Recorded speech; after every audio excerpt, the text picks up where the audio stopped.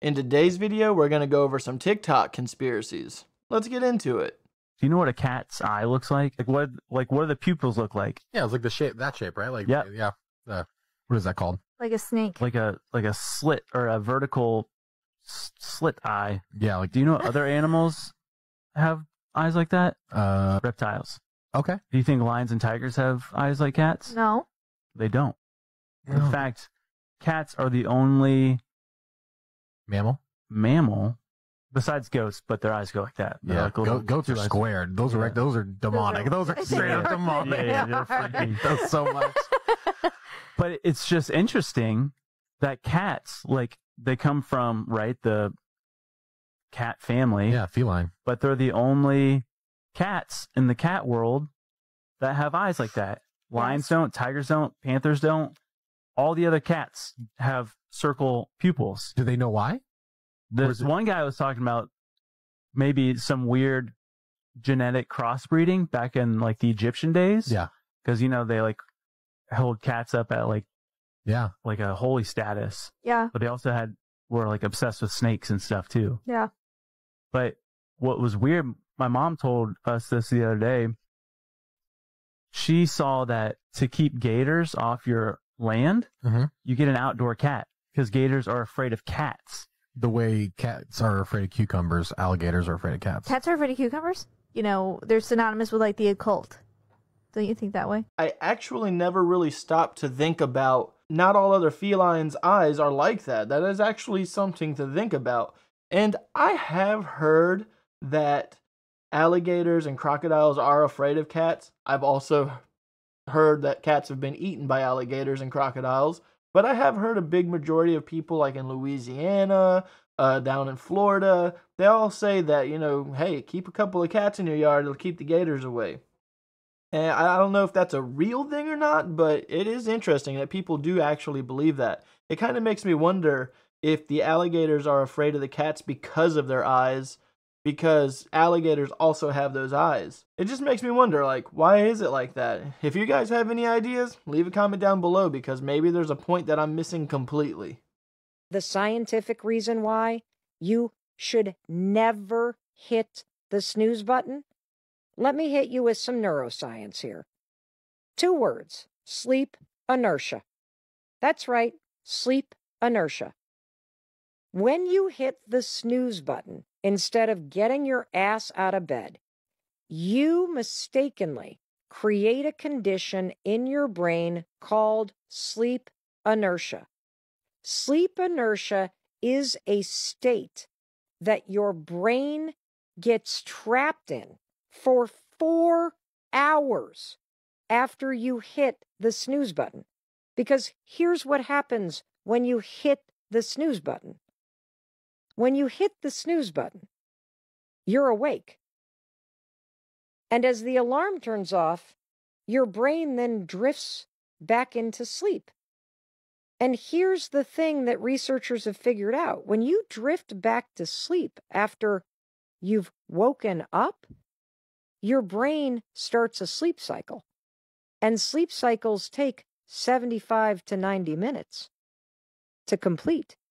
So when that alarm goes off again in nine minutes, and you're like, oh my God, like, have you ever noticed you're like in deep sleep when you drift back to sleep? That's because you're nine minutes in to a 75 minute sleep cycle. That groggy, exhausted, heavy feeling that you have when you hit the snooze button several times and you can't quite get awake and you complain that you didn't get a good night's sleep, that's not a function of how well you slept. That's you and me being an idiot for hitting the snooze button and putting our brain in a state of sleep inertia. Because when you hit the snooze button, your brain is now freaking trapped in a sleep cycle. And it takes your brain, based on research, about four hours to get through that groggy ass feeling. So, the most productive period of the day, which is the first two hours after you wake up, it's when your brain has the highest speed of processing, it's when you're the most alert.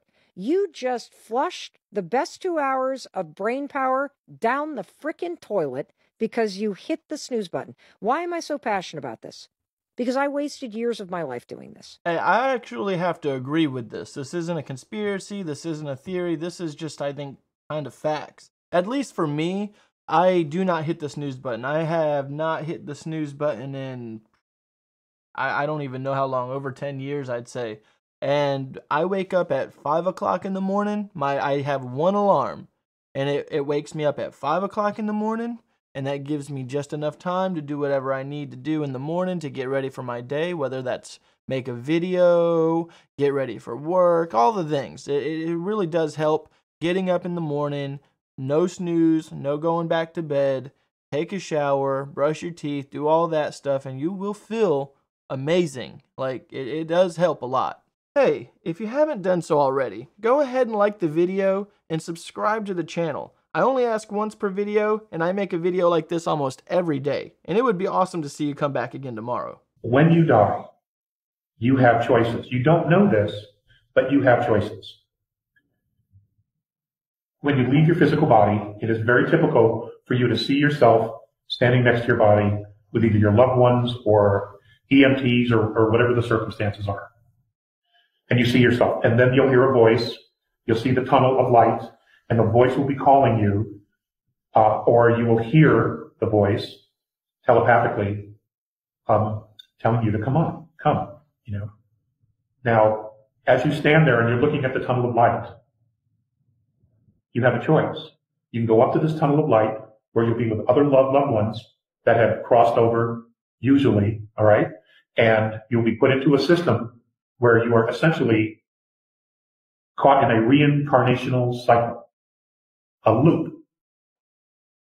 Or you can turn around, put the tunnel of light behind you, and what you will see is the entire universe. If you choose to go to the universe instead of the tunnel of light, whatever dimension you came from when you came down here to Earth, okay, we'll keep it all present, present time and place Earth, whether it was sixth, seventh, eighth, ninth density, whatever it was. If you choose the universe and you say to yourself, I wish to go home, you will return to that dimension from which you came. So if it's five, six, seven, or eight, you will leave here and you will go back to that dimension where I am told you'll be reunited with your soul group. Because we're multidimensional. We're in many places at once. I've never shared this information before. I always find reincarnation videos extremely fascinating because I like the idea that reincarnation is a possibility of choice, even. That would be great if you have the choice of being reincarnated as another person or an animal. Who knows? Maybe when you pass, the options there, like he said, you have the light, which will put you in a ever evolving loop of reincarnation or you have the the galaxy that gives you a, a totally different life. I, I think it's interesting. I just don't know. It's so tough. It, it's so hard to. It, it would be really nice to have those options, but it would also lead to a lot of other questions about our reality. Because if reincarnation is done in this way, if there is a place where you can go visit your loved ones and things like that, is that heavenly or divine? Or is it a part of a system that allows us to live that way for continuous recycling purposes? I know that sounds really crazy, but I've seen some conspiracy videos of what was called soul harvesting. And basically, extraterrestrials put up these devices on the moon, the the reincarnation antennas. They put them up on the moon, different planets, and basically when we die, they do not allow us to cross over, but it keeps us ever reincarnated so that we keep feeding these entities souls over and over and over again almost endlessly. Uh, so it's very interesting to me. I, I'm curious. I wouldn't say I'm a believer in this. I'm, I wouldn't say I'm a believer in reincarnation, but it is a very fascinating theory for sure. You're telling me that when you imagine something, you see it you So this is the imagination spectrum. At a at this highest level, you can fully imagine a realistic apple when you close your eyes. At the lowest level, you don't see anything. You can conjure the word apple, but you don't actually see an apple in your head. Personally, I'm like a four, maybe four and a half. Like I can't get all the way to like a su- super realistic apple, but like I can see a red apple in my head. Now, if you're all the way down here at the one where you don't see anything when you imagine something, you just don't you can't conjure an image that's called aphantasia and it affects like between 2 and 5% of the world's population um, it's not a bad thing it's just your brain works differently it's just a little fun fact about you that now you know I heard about some people that cannot imagine things like visually. I personally, like, I can imagine a whole apple without even closing my eyes. I can see a realistic apple right here. I can pick that apple up and I can even take a bite out of it. And it's there. I can see the bite taken out of the apple and everything. It's, it's really crazy. I've always been able to visibly see things if I imagine it. I, I can see very clearly, and it's actually helped me draw in my past. Like I used to draw all the time because I could see the image that I want to draw, and I would just trace it basically. It's uh, it's crazy to think that there's some people that just can't see anything. Let me know in the comments on what imagination spectrum you are under, whether it be five through one. I'm always interested in learning on people's minds and how they work. I was looking at this uh, this video that was on YouTube that was showing the stages of artificial intelligence, and that there's these multiple stages: artificial, general intelligence, sentient general intelligence, and then it goes to godlike artificial intelligence. But that is, is that what God is, and is that what we're doing? Are we making God? If God made us in His own image, are we making God?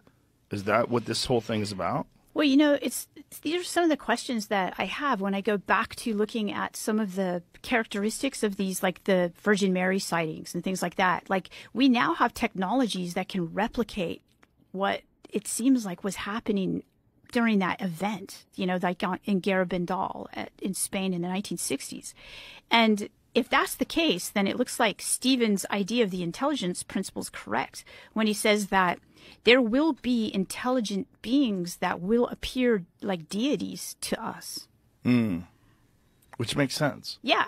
And he also says, you know, and um, I don't know if you've gotten to the chapter on Simone in the book, but she's a quantum AI person, and she's um, she talks about UFOs and and she hates the word artificial intelligence. She Mm. says it's completely. We don't like make a, a painting and then say, "See this artificial." Right. You know, we don't do Yes. that. So why do we call it? Why? It's because she says we're afraid of it. You know, we're afraid that it's going to be sentient, and we're afraid. You know, she said, but it's just another life form. Mm. That's that we happen to be doing, creating. Yes. And she says it's special in that way, but it's also going to free us in many, many ways. Ooh. She's a tech optimist. She's an accelerationist. Yeah. Well, I hope she's right. hey, I am also kind of against the word artificial intelligence, not because I think it's a sentient being or anything like that. I just do not feel like that's the right fit for that kind of technology. I, I think that it's more of advanced computing, if anything, but even still, it's not even that. It's just a program that's taught to be as smart as it can. It just never goes out of the realm of thinking for itself. And to me that just means that it's it's just a program at the end of the day. It, it can be scary and it can take jobs and it can do incredible things that we have programmed it to do, but it's not a sentient being. Not until they start adding it to organic material and it becomes conscious. Like if they hook AI to a brain and that brain starts to function like it's an actual living, bleeding brain, then we will start to see a sentient form of life. But as of right now, where it stands, it's just computer technology. It's nothing living. It is easily shut down through electronical impulses, and it's just, it's not a living sentient being. I don't think. Leave a comment down below on what you think because I just don't see it. And as far as uh, are we creating God in our image? I do not think that either. Oh my days, they have just done what? Yeah, 2024 just gets even crazier. Like, what the actual hell is going on right now? This is mad. I don't even need to say about everything that's been going on this year, right? Is there, is there even anything I have to say? But it's terrifying, right? Now, you probably also know who Elon Musk is, right? And you know about all of his crazy inventions, including Neuralink, which they had plans for a couple of years ago. It's been in clinical trials, and today we had a huge breakthrough. So, in 2021, they tried this Neuralink chip out on monkeys, and the monkey was literally able to play a game on the computer by only using its mind. Since then, it's been in trials on more animals, in human trials, and now, today, the first man has had this actually put in. The first actual customer has just had this. Now, if you don't know, what actually is Neuralink? So essentially, it is a chip which they're literally going to drill into your brain and put inside your head. It's quite small, but I mean, it's not that small. It looks like that. Now, it's essentially a telepathy device which will enable you to do a lot of different things. Now, it does have positives. For instance, this guy was able to actually feel touch, feel sensational touch through a robotic hand. You'll be able to essentially scroll on social media and control things with just your mind, which is a bit odd. Not being funny though, imagine he then decides to put ads on this. So you'll just be walking around going at throughout your day and you'll just get ads popping up in your eyes. Like, no thanks, mate. What's even scarier is a surgeon's doing this to put it in people? Nope, he's got a machine. This machine right here is going to do the surgery. No person. Great. But the scary things are, what if this gets hacked? It's a device at the end of the day. This could so easily, someone could just get into it. Like, imagine the consequences. So yeah, I'm really not sure about this, but please let me know in the comments down below your thoughts on this whole thing. And as always, hit that follow button and I will keep you updated. So with this, this is now getting into that line of AI and becoming sentient in a way. This is not artificial intelligence. This is a computer chip that supposedly allows for brain Bluetooth and for other motor functions and things like that. I could see AI being implemented into these chips to allow that feeling of hyper intelligence, and that'll be interesting. But it's not a form of sentient life as far as the AI goes. It is now a tool added on to a already living organic life, an already conscious organic life. So I don't believe that that transfers over to what I was saying earlier about AI becoming sentient or anything, because this is not within that realm. I do think that this is interesting, and I'm curious to see the progression of it, and I'd be curious to know on what you guys think as far as is this something we should be doing in is this something we should be doing or should we not be doing things like this? This could be huge advancements into the future with different forms of communication and all different types of ways of accessibility to life. It can also cause a bunch of troubles, such as brain hacking and people being able to intrude your thoughts because you don't have it set to private or something. You know, like all that kind of stuff I see probably happening in the future uh, before a lot of tests and studies get perfected. But it's interesting. His dogs, usually something in front of a dog will be way ahead of them. So I knew I had minutes to, to see what was in there. So I run up to this stop and to this tree in a full run, stop myself, and I'm trying to catch my breath. I'm panting, I'm panting, but I'm trying to be quiet, right? Because I didn't want to scare whatever's coming toward me. I could hear the dog coming. It wasn't far. It's probably 20 yards in the woods coming my direction. So the minute I hit that tree, I turned around to see if Junior was coming behind me, and Junior wasn't there. But what was there, um, from me to you away, probably four foot, I could have leaned over and touched it with my hand. Good thing I didn't. Uh, somebody from NASA told me it would have killed you. It did. Could have. The energy from it. So, um, there was a being standing there, just like Junior described. It was that he saw in the river. It was three, three and a half feet tall. It looked like a child, um, not like a gray alien you would think about. People talk about. It was a little glowing color of the moon, uh, soft glow, uh, three and a half foot four year old, looked like a four year old child. Head and face was a little different. Definitely weren't human. Eyes were glowing red. They looked mechanical. When you look at them, they look like the little markers on a transfer truck, the side marker. You see these little round lights along the side. They were about that size, inch and a half. It had this triangle on its chest, glowing. This thing was glowing, but it had a dark section that won't glow. It was in shape of a triangle. And I knew I was in trouble. The minute I saw it, now it's all happened so quick. I ran against that tree and I stopped myself and I looked back and I'm like, oh my God, what do I do? So I got closer to the tree. I didn't want to get closer that way to turn around. So I uh, backed my uh, back against a tree and I'm facing this thing. And I said, I surrender. I, I mean you no harm. I'm sorry. You know, I'm not here to, I, I was just, I surrendered to it. I just knew I was dead.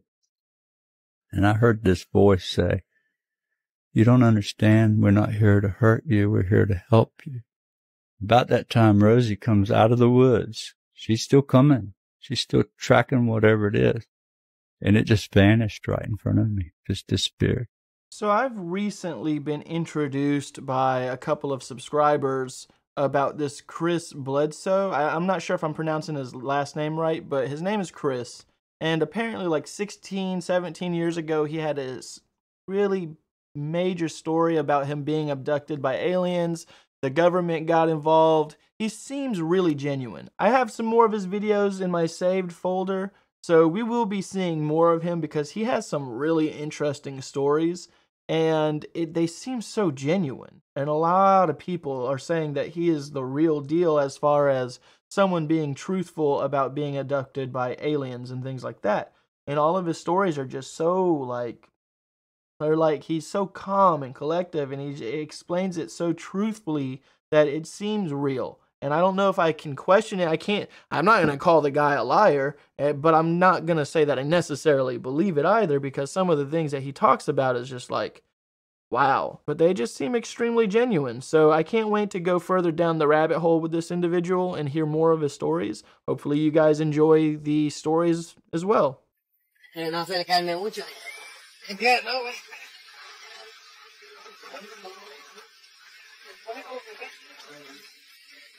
nhiều rồi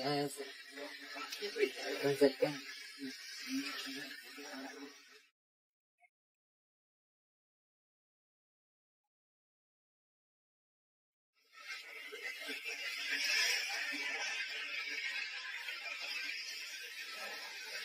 Era eso, era eso, era.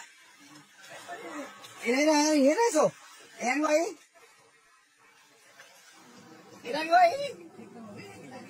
Míralo.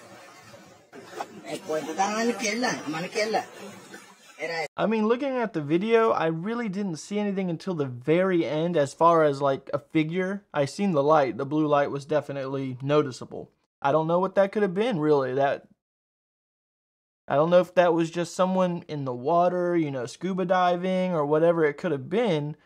I, I I'm really I don't have anything for this one. Let me know in the comments on what you guys think.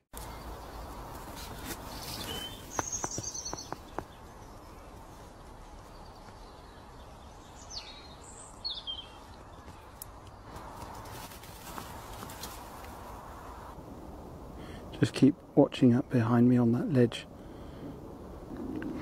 Oh, sorry about that. He was he was doing a, oh there he is. Okay. Let's there. Ah, well at least we've got a shot of, of one.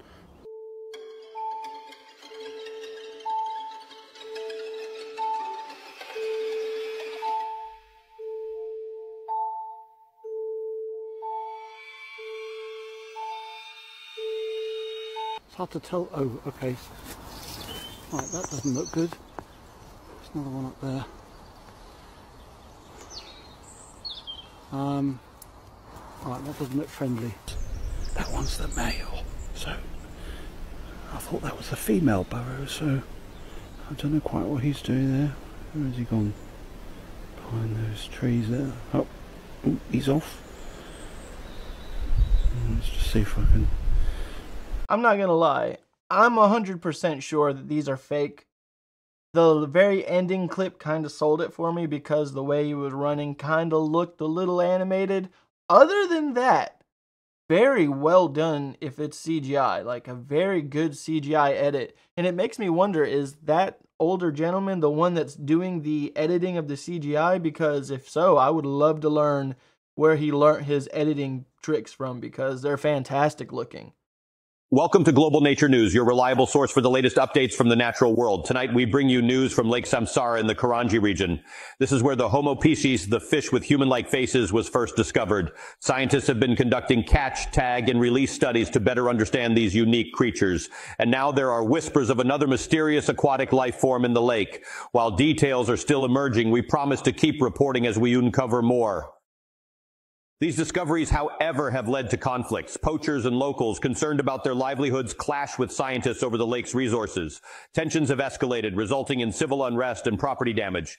In light of these events, it is crucial to emphasize the importance of conservation. The unique biodiversity of Lake Samsara must be protected. We all have a role to play in preserving these remarkable creatures and their delicate ecosystem. Stay tuned to Global Nature News as we continue to explore the mysteries of Lake Samsara and the conflicts surrounding it. We promise to bring you the truth no matter how complex the situation. Thank you for joining us. Remember to stay curious and informed. Good night. I mean, I know those are fake AI generated fish photos. And I did a video a couple of days ago. Why did I point behind me? Well, there's no video behind me. That was weird. But I did a video a couple of days ago with the fake AI fish in it, and it's clear that those are AI generated. I just added this because I find it so fascinating on how real the images look and they're moving. AI is definitely getting good. And it's gonna get very difficult very soon on telling on what's AI and not. That's the whole reason why I added this because even the individual that was speaking, the, the anchor man, he was AI generated. And I think that that was really well done. So leave a comment on what you guys think as far as the AI visual effects go, on your thoughts on how how they are going to improve in the future and how scary it's going to be because I think it's going to get like it's going to get confusing really fast. All right, guys, I'm going to end the video here and with that being said, have a good day.